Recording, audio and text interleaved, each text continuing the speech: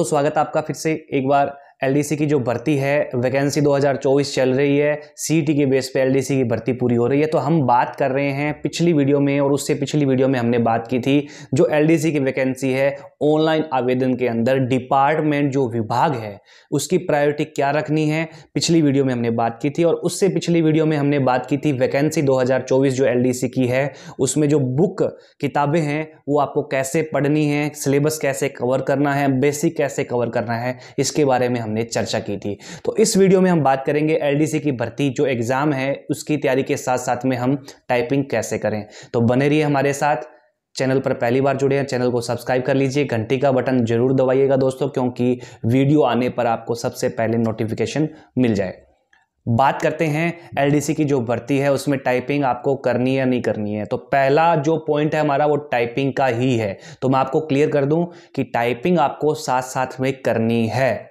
क्यों करनी है, उसका भी रीज़न मैं आपको बताऊँगा ज़रूर। और अगर आपके पास टाइम कम है, मैं बता दूँ आपको, अगर साथ साथ में आप जॉब लगे हैं, आप जॉब कर रहे हैं और इसके साथ साथ आप तैयारी कर रहे हैं तो आपके पास समय नहीं है तो आपको टाइपिंग करने की ज़रूरत नहीं है एक बार। फिर भी अगर आपको टाइम मिले बीच बीच में तो आप दो से तीन घंटे रोज़ाना टाइपिंग दे सकते हैं। टाइम मिले तब।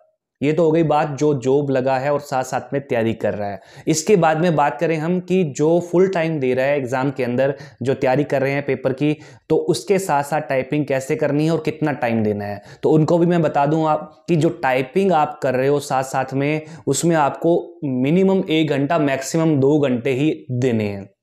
और कितना टाइम देना है कि जो आपका मार्च का महीना है, अप्रैल और मई, ये तीन महीने आपको एक बार टाइपिंग साथ में करनी है। अगर एग्ज़ाम अगस्त में होता है, तारीख आगे नहीं जाती है, मेरे हिसाब से तारीख नहीं जाएगी आगे, अगर फिर भी तारीख आगे जाती है तो वो बाद की बात है। अगर अगस्त के हिसाब से चलें तो आपको तीन महीने टाइपिंग पे फोकस रखना है।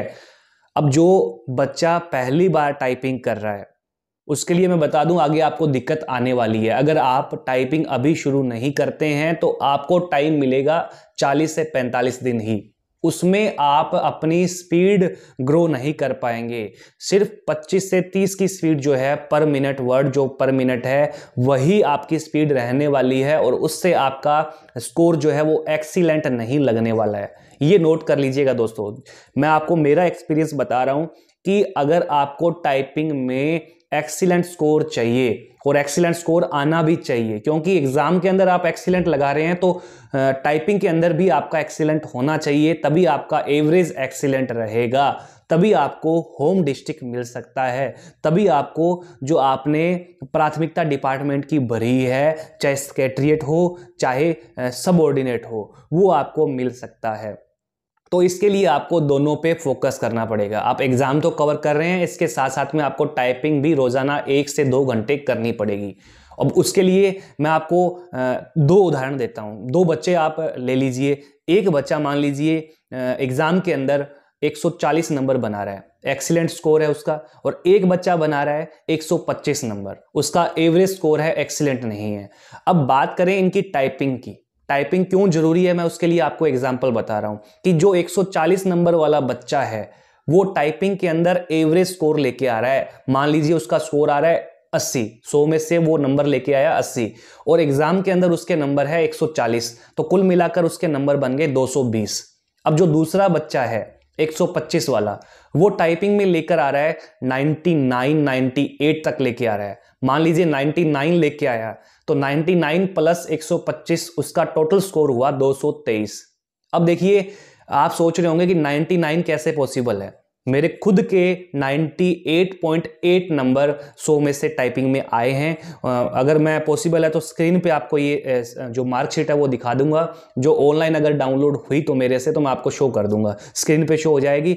अब देखिए 99 पॉसिबल है 100 भी पॉसिबल है। तो उसके लिए आपको अभी से टाइपिंग स्टार्ट करनी पड़ेगी। रोज़ाना एक से दो घंटे आपको टाइपिंग करनी पड़ेगी साथ साथ में।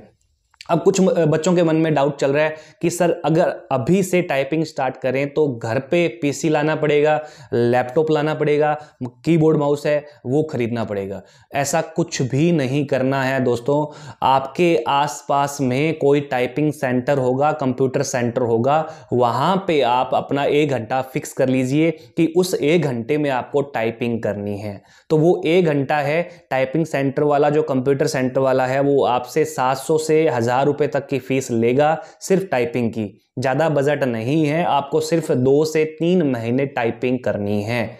तो दो से तीन हज़ार रुपये में काम चल जाएगा। ये नहीं है कि आपको लैपटॉप लेके आना पड़ेगा पीसी लेके आना पड़ेगा, दस से पंद्रह हज़ार रुपये का बजट आपको लगाना पड़ेगा। ऐसा कुछ नहीं है। मिनिमम बजट के अंदर आप अपनी टाइपिंग अच्छे से कर सकते हैं। और मैं बता दूँ आपको, कुछ यूट्यूबर्स के द्वारा ये भी बताया जा रहा है कि मोबाइल के साथ टाइपिंग कर सकते हैं। मोबाइल में कीबोर्ड जोड़कर आप टाइपिंग कर सकते हैं। तो ये बिल्कुल मत कीजिएगा दोस्तों, क्योंकि आप अगर टाइपिंग कर रहे हैं मोबाइल के साथ तो मोबाइल पे आप स्क्रीन छोटी स्क्रीन है और उससे आपकी आँखें भी खराब हो सकती है। तो टाइपिंग वहाँ पे, मोबाइल पे आपको टाइपिंग आप बिल्कुल कर सकते हैं, लेकिन वो पीसी वाली बात नहीं रहेगी टाइपिंग में। तो आप कंप्यूटर सेंटर ज्वाइन कीजिए। अगर आपके पास लैपटॉप है, अपना पीसी है पर्सनल कंप्यूटर है, खुद का तो आप घर पे भी टाइपिंग कर सकते हैं। तो मेरा तो आपके, आपको एक ही सजेशन है कि आप टाइपिंग स्टार्ट कर दीजिए, क्योंकि आपको एक्सीलेंट लगाना है टाइपिंग के अंदर। और एग्ज़ाम होने के तुरंत बाद में अगर आप टाइपिंग की सोच रहे हैं तो आप 40 से 45 दिन में सिर्फ़ अपना बेसिक ही क्लियर कर पाएँगे। आप एक्सीलेंट स्कोर तक नहीं जा पाएँगे। अगर आपकी टाइपिंग अच्छे चल रही है, पहले से आपने टाइपिंग कर रखी है तो आप कम से कम समय दीजिए, एक बार टाइपिंग में, एक बार एग्ज़ाम में ध्यान दीजिए। अगर आपकी टाइपिंग बिल्कुल भी नहीं है तो आप थोड़ी सी टाइपिंग स्टार्ट कीजिए अभी मार्च, अप्रैल और मई। ये तीन महीने आप टाइपिंग अच्छे से कीजिए।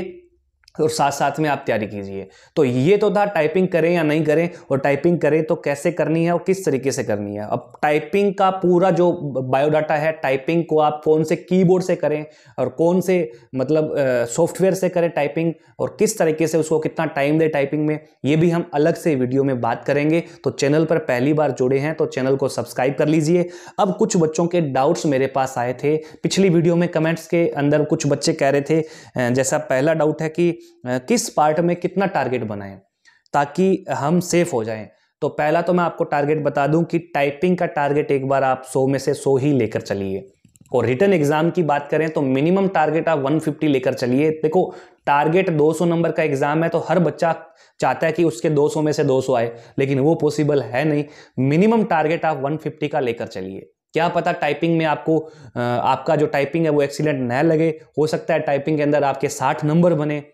अगर आप 150 लेके आते हैं 60 से 70 नंबर टाइपिंग में लेके आते हैं तो आपका जो, मैं नहीं, ये नहीं बोलूँगा कि कट ऑफ़ इतनी जाने वाली है या इस स्कोर से आपका मनपसंद विभाग आपको मिल जाएगा, मैं ये नहीं बोलूँगा। लेकिन अगर 70 नंबर तक आपकी टाइपिंग अगर आपका एक्सीलेंट नहीं लगता है और एग्ज़ाम में आपके 150 है तो आप बच सकते हैं, आपका सेफ़ स्कोर है ये 220 अब देखिए फिर भी मिनिमम जो रिटर्न एग्ज़ाम है, उसमें 150 का स्कोर आपका होना चाहिए। इसके अलावा एक बच्चे ने पूछा है कि एनसीईआरटी बुक्स पर डाउट चल रहा था कि साइंस का जो है, वो कैसे करना है। तो मैंने आपको पिछली वीडियो में बताया था कि एनसीईआरटी की जो साइंस है, नौवीं से दसवीं क्लास तक की, उसमें आप अपना बेसिक यानी कि 20 से 25 क्वेश्चन क्लियर आराम से कर सकते हैं, अगर आपने एनसीईआरटी अच्छे से की है तो। इसके अलावा बाज़ार में बहुत सारी बुक्स आती है, जैसे एल्यूशन की है अरियंत की है तो साइंस है, वो भी आप कर सकते हैं। अगर साइंस वाले स्टूडेंट हैं तो वो आप नौवीं, दसवीं के अलावा ग्यारहवीं और बारहवीं के अंदर जो फिजिक्स और केमिस्ट्री की बुक्स है, वो आप अच्छे से कवर कर लीजिए।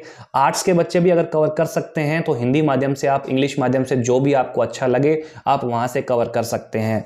इसके अलावा मैं आपको बता दूँ कि एक नेगेटिव मार्किंग का पूछा था कि सर नेगेटिव मार्किंग पे वीडियो अलग से बनाएँ। उस पर वीडियो बनाने की ज़रूरत नहीं है। एक बटा तीन नेगेटिव मार्किंग है और अच्छे से आपको पता है कि पाँच ऑप्शन अब की बार आने वाले हैं। पाँच विकल्प आने वाले हैं ओमआर शीट के अंदर तो उसका भी आपको थोड़ा सा ध्यान में रखना है। और एक बच्चे का कमेंट था कि, अदर स्टेट से हूँ, क्या मैं फॉर्म फिल कर सकता हूँ? नॉर्मल सा क्वेश्चन है। अदर स्टेट से हैं तो जनरल कैटेगरी में आप आएँगे, अदर स्टेट से फॉर्म फिल कर सकते हैं। चैनल पर पहली बार जुड़े